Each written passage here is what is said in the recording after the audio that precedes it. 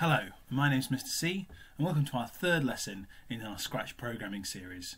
Today this is an example of what we're going to have a go at doing.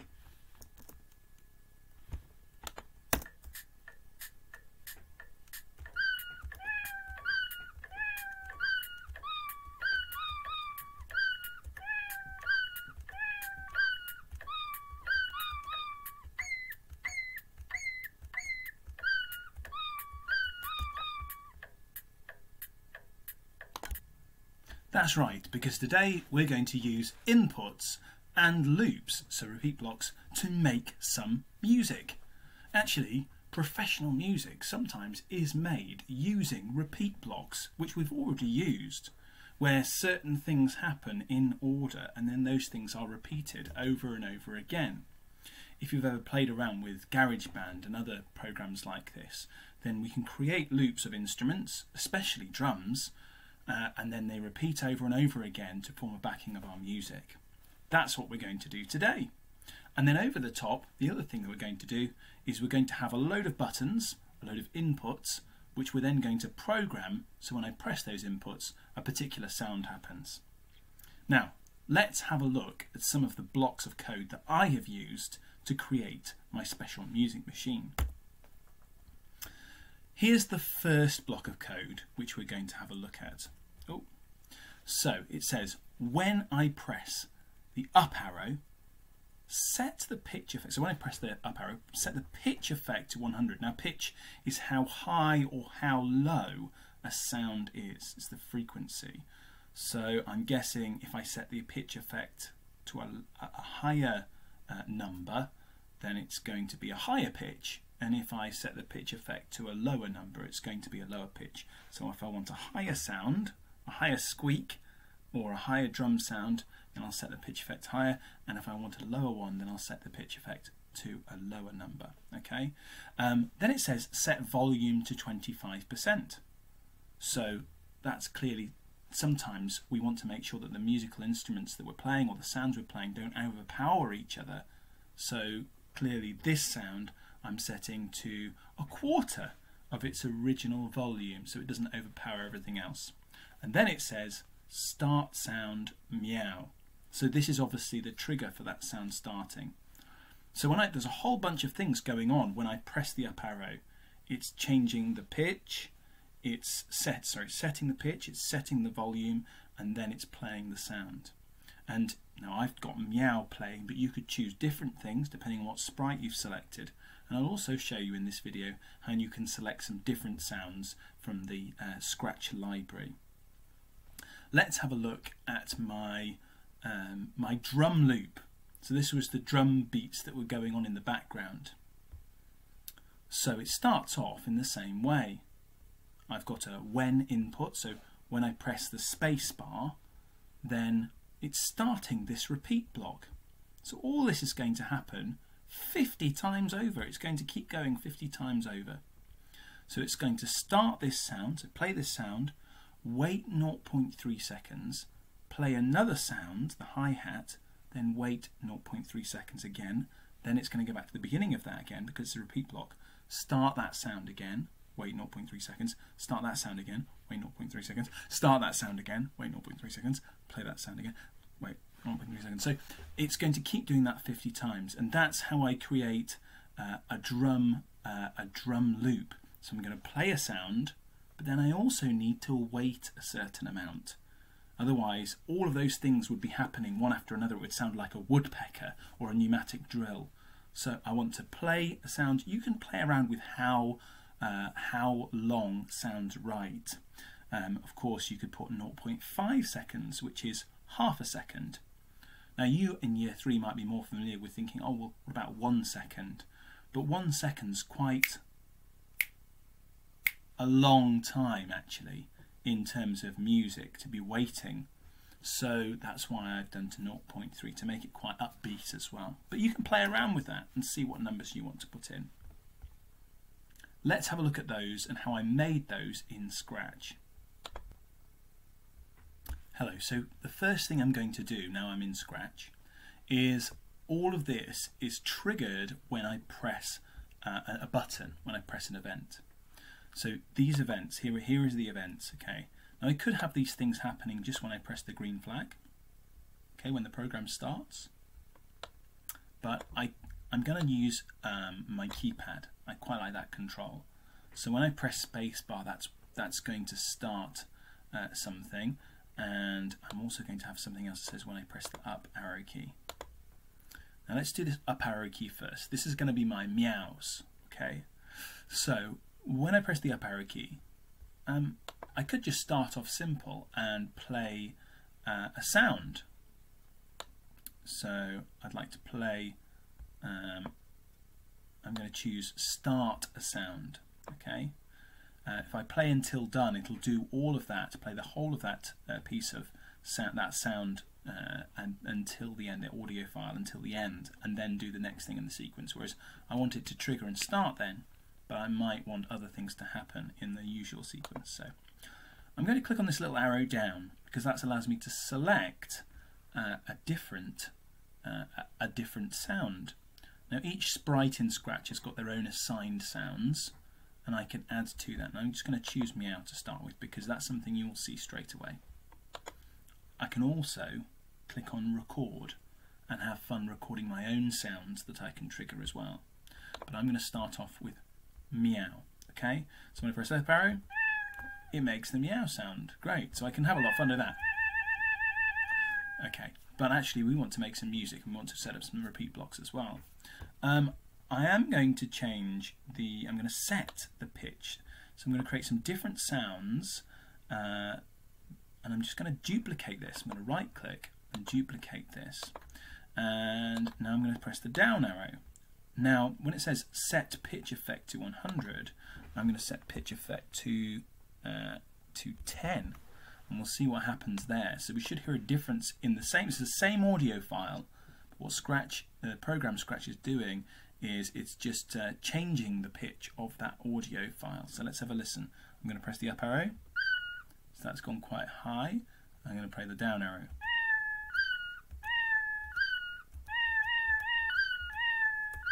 Okay, so you can set some different numbers. You can have a whole bunch of uh, different uh, inputs and you could have some different numbers with that same audio file and create some different pitches to work with. Maybe you could even make your own tune. Who knows? Um, so now I've done that bit, what I need to do is create a drum beat for the background. Now, as we've said before, the drum beat wants to be a repeat block I don't want to have to keep pressing the spacebar to start those drums playing again. I just want them to keep going and going. So what I'm going to do is click on Control and I could just click on have them going forever. Why not? Or I could choose them to repeat for a certain amount of times before they stop.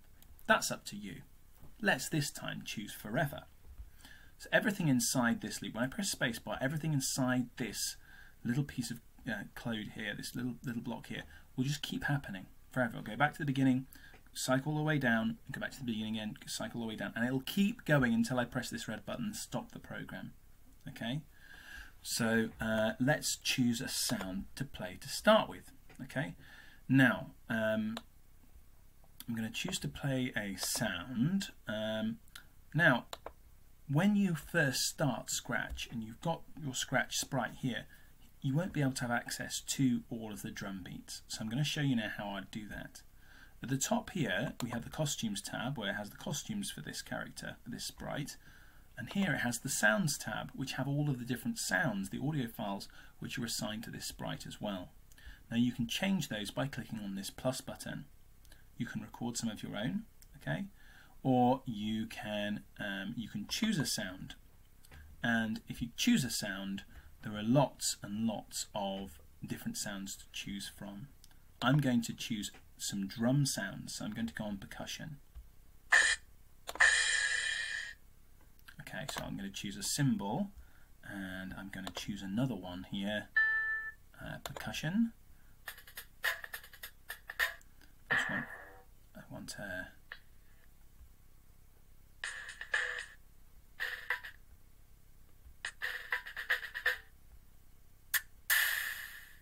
I'm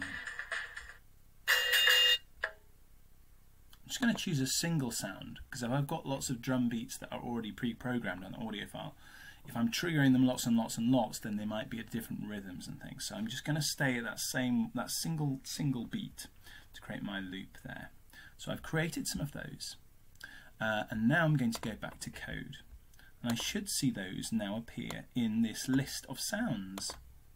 So we said play the sound cymbal crash. So when I press space, it's going to keep playing the cymbal crash. Are you ready? Okay, so it's a simple drum beat. Okay, um, but what I might want to do, um, I might. Um, oh, I'm going to just change that. Sorry, instead of play sound until done, I'm actually going to say start sound. The difference being that the play sound till done will wait the set amount of time until the end of the audio file before play, playing the next step in that sequence. Whereas I want to start this and then then wait a certain amount of time and then start another sound. So that's what I'm going to do. I'm going to select that. I'm going to select my cymbal crash and then I need to wait a certain amount of time. Okay, so that's also in control and I'm going to click on wait now we can see what it sounds like with just one seconds. Okay, so uh, play the cymbal crash, wait one second, play the cymbal crash, wait one second. Um, but let's have our second sound in there. I'm going to start the sound. Okay. Okay. Oh. Let's let's press play. Now I'm going to just add my. Uh, I need to have a wait after the after the second sound as well. Let's have a look. So I'm going to put the kick drum there. Now when I press spacebar, it should play the cymbal crash, wait one second, start the kick drum, wait one second, and then go back to the beginning again.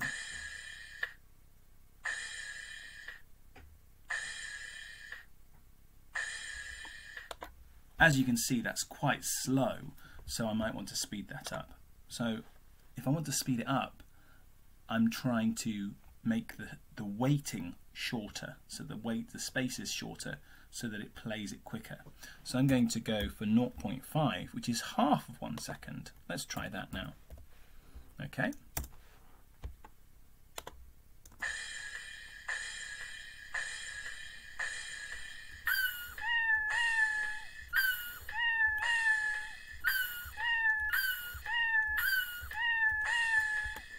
this is starting to work now.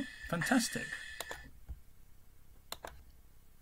So let's have a look now at the task and some of the extra challenges for today. So let's recap. Our task is to use some different inputs to make some different sounds trigger. By which I mean click on the events bar, select some of the when I press buttons. So when I press the up arrow, when I press the letter T, then I want to trigger a different sound. So you can have a whole bunch of different sounds triggering when you press the keyboard. Okay, that's your first challenge. The next thing to do is to use a repeat block to make a drum loop. Now it doesn't necessarily have to be drums, but you could loop over some of the other instruments as well. So you're creating instrumental loop. You will need to include some of the wait buttons to make sure that the loop cycles through you can choose repeat or you can choose the forever block to make sure that it loops over and over. Now let's have a look at some of these extra challenges. Can you have more than one loop going at once? Can you add some animation to go with some sound as well? Let's see if we can explore that further. So if I wanted my uh, sprite to react to the sounds, the first place I might look is on the looks bar. So if I go onto this looks tab here, I can see some different simple lines of code that I can add, such as next costume. So let's have a look here. I've added next costume after I play the cymbal crash and next costume after I have the start kick drum. So what should happen is every time you hear a sound, he'll cycle to his next costume and look like he's walking at the same time. So let's see.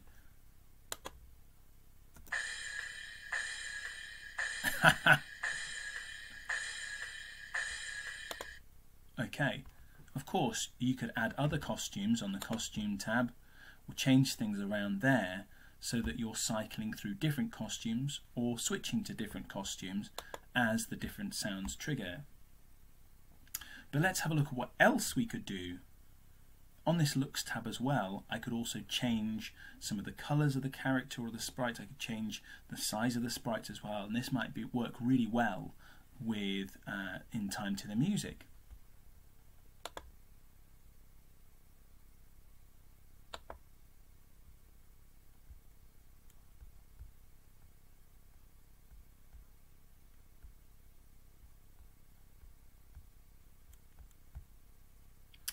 So here you can see that we've had a bit of a play around and um, as you can see I have played around with some of the visual effects. So now when I press the up arrow it's going to clear all graphical effects. It's going to set the size to 200% so you could change the size of Scratch. It's an easy thing to do um, with the music. I'm going to change the colour of Scratch. It's going to set a fisheye effect which sort of bulges his eye a little bit uh, and then the rest of it's already part of what we've already programmed. So if I press up, then he changes colour, his face gets a bit bulged and he gets bigger. Um, when I press the down arrow, it clears all the current effects like the fisheye effect and colour effect on him. Uh, and then it changes the fisheye effect, changes the colour, sets the size to 150%. So you can see, because I've set the colour effect to 100, it's gone blue.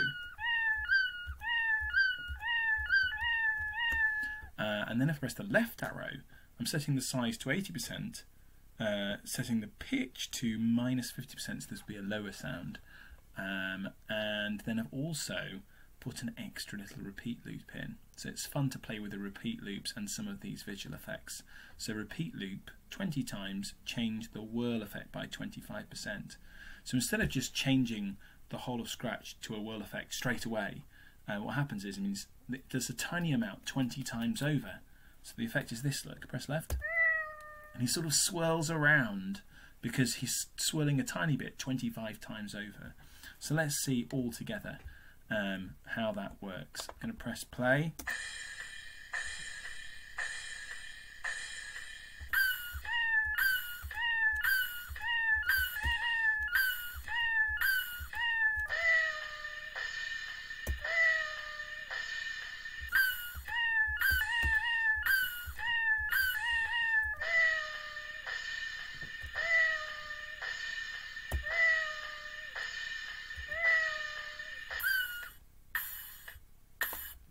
There we go. Have a go, have a play around, and see what you come up with.